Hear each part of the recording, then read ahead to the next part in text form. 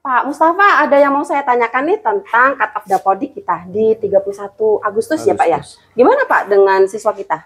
Siswa kita untuk cut off di Agustus 2024 ini berjumlah 397 siswa, Bu. Nah, Banyak kemu- ya? iya, Bu. Kemudian terdiri dari tiga rombel untuk kelas 1 di tahun ini juga.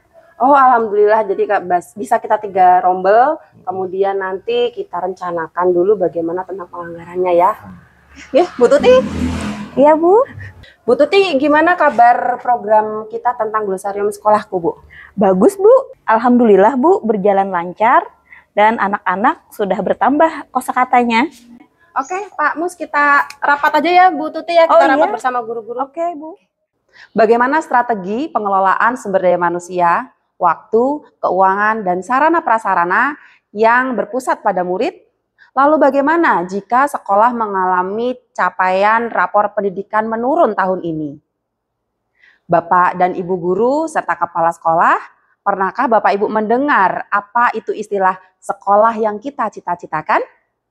Salam dan bahagia Bapak Ibu guru dan kepala sekolah semuanya. Selamat datang di Jambore GTK Hebat 2024. Saya akan berbagi praktik baik dengan topik perencanaan berbasis data dengan metode Bapandung. Saya Inggit Megasari, Kepala Sekolah Dasar Negeri 2 Landasan Ulin Barat Kota Banjarbaru Provinsi Kalimantan Selatan.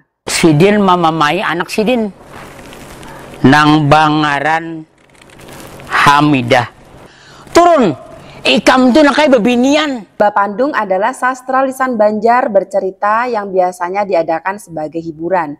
Bapandung mirip dengan monolog tetapi ada perbedaan yang cukup kuat antara keduanya. Bapandung merupakan monolog yang tidak hanya bercerita biasa tetapi juga mempertunjukkan tiga hal yaitu mempertunjukkan busana tokoh yang selalu berganti sesuai pergantian karakter. Si pemandung yang harus mengubah cara bicara, tingkah laku tokoh sesuai dengan perubahan karakter dan adanya konflik tertentu. Praktik baik ini diceritakan di bulan Oktober 2024. Artinya sudah setengah tahun lebih, hampir mendekati satu tahun dari kegiatan anggaran 2024.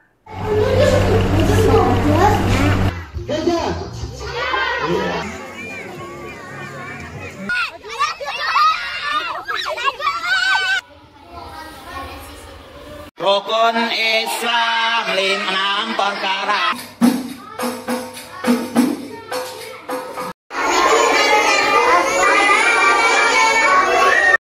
Tri. Sekolah kami melakukan penganggaran tahun 2024 berdasarkan rapor pendidikan di tahun 2023 yang sudah kami identifikasi, refleksi, benahi perencanaan dan benahi implementasi. Kemudian keluarlah rapor pendidikan tahun 2024. Di bulan Maret dengan metode Bapandung, ba, baca, cermati, pahami arti sekolah yang kita cita-citakan. Ini adalah proses identifikasi, mengidentifikasi dari data yang ada, data rapor pendidikan, juga data pendukung. Selanjutnya adalah PA, pahami makna data. Jadi dari rapor pendidikan dipahami makna datanya. Ini adalah proses refleksi. Proses refleksi ini kita berkumpul bersama guru, bersama komite, serta didampingi oleh pengawas pembina kami. Pada bulan Juli, kami melakukan aksi yang ketiga, yaitu DU. Dukung dua aksi benahi. Ada dua benahi di sini, benahi perencanaan artinya kita membenahi perencanaan yang sudah kita anggarkan di bulan Januari sampai di bulan Juli. Kemudian kita membenahi implementasi. Apabila ada anggaran-anggaran yang masih belum tersalurkan dengan baik atau belum dimanfaatkan dengan sempurna, maka kita berhak untuk melakukan perubahan. Ibu Dita, saya minta tolong bukakan arkasnya. Kita sesuaikan anggaran dari awal tahun ke perencanaan ke perubahan. Siap, Bu. Ini adalah usulan dari Bapak Ibu guru yang sudah saya masukkan di anggaran perubahan. Jadi Bapak Ibu, ini adalah proses benahi implementasi ya. Benahi implementasi adalah kita merancang bagaimana anggaran dirubah, kemudian cara kita membaca dari rapor pendidikan. Akibat dari implementasi yang sudah kita laksanakan dari bulan Januari sampai di bulan September. Kami melakukan berbagai macam rapat bersama komite serta pengawas pembina sekolah kami untuk melakukan perubahan kegiatan-kegiatan apa sih yang akan dilakukan disesuaikan dengan rapor pendidikan di 2024. Contoh kegiatan yang sudah dianggarkan dalam perencanaan yaitu kegiatan workshop siswa bertalenta berbasis STEM. Untuk yang berperan dalam workshop ini uh, siswa yang terdiri dari kelas 5 dan kelas 6 Bu dan untuk narasumbernya uh, bisa dibantu oleh Pak Mustafa dari wali kelas 5 dan saya sendiri dari guru bidang PJOK. Jadi mereka membuat sebuah proyek, proyek besar ini kemudian didokumentasikan ke dalam editing video.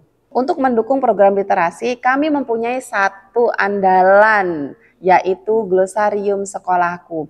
Glosarium sekolahku ini adalah berupa buku glosarium sesuai dengan abjad. Jadi kami menciptakan lingkungan sekolah kaya teks. Ada dalam tiga bahasa, yaitu bahasa Indonesia, bahasa Banjar, dan bahasa Inggris. Oke, selanjutnya Ibu Dini dari peserta Cambridge, apakah ada usulan yang di kegiatan untuk sekolah kita? Kita menyesuaikan kurikulum Cambridge yang dari dinas saja, Bu.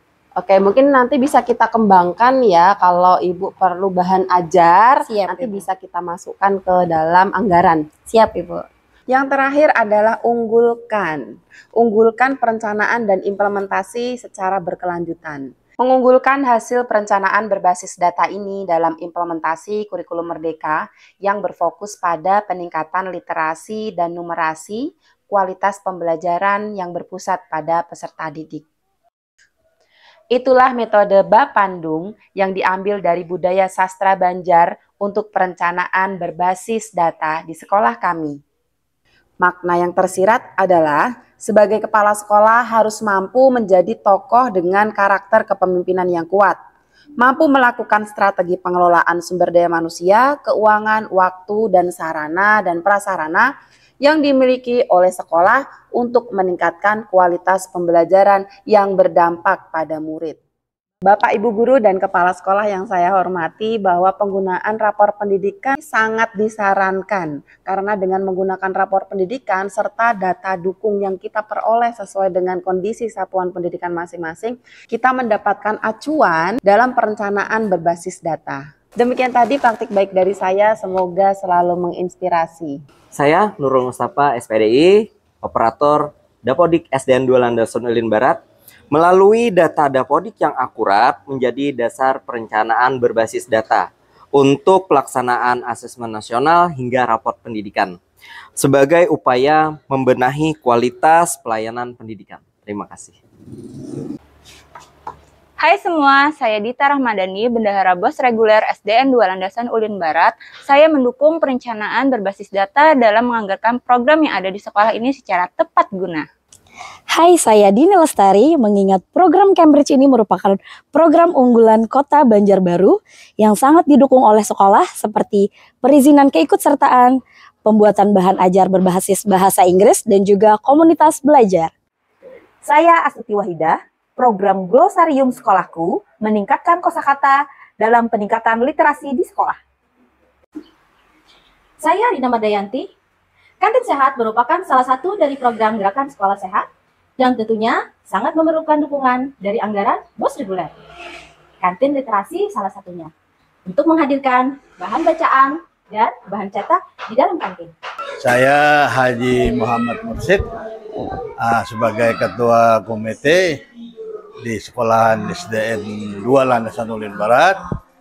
Jadi sangat mendukung apa-apa kegiatan yang ada di sekolahan ini, terutama yang telah diadakan oleh kepala sekolah serta dewan guru.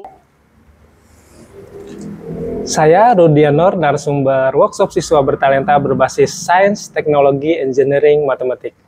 Dengan adanya kegiatan workshop ini, sangat mendukung untuk meningkatkan kualitas literasi dan numerasi siswa di SDN 2 Landasan Ulin Barat. Jambore GTK 2024, Guru Hebat Indonesia Maju.